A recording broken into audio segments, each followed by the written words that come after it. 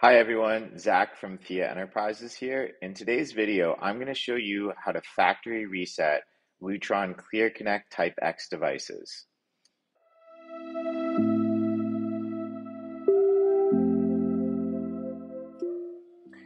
If you've ever worked with Ketra KNet, if you didn't have access to the original installation, you may end up with a lamp that has become orphaned and you wouldn't be able to add it to a new installation until it was factory reset.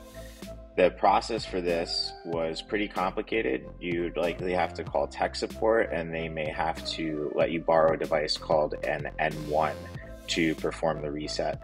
Fortunately, with Clear Connect Type X and Homeworks QSX or Athena, the process is a lot more seamless and it's actually done using the Lutron app.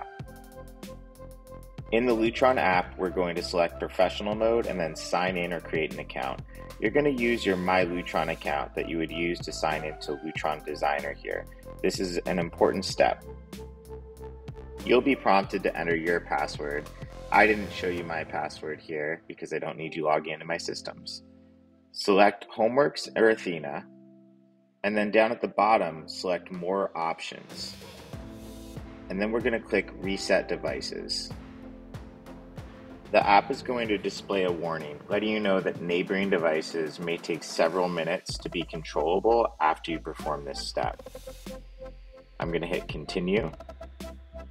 This part is a little confusing. It's really just giving you instructions. So it's saying place the phone near your device, power cycle the circuit. So don't do that yet. We're going to do it in a second. For now, just hit continue.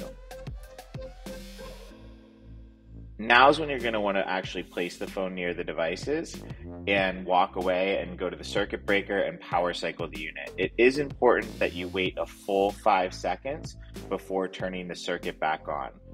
Return to your phone, and then it should be able to discover the device, and you can click the button to perform the reset.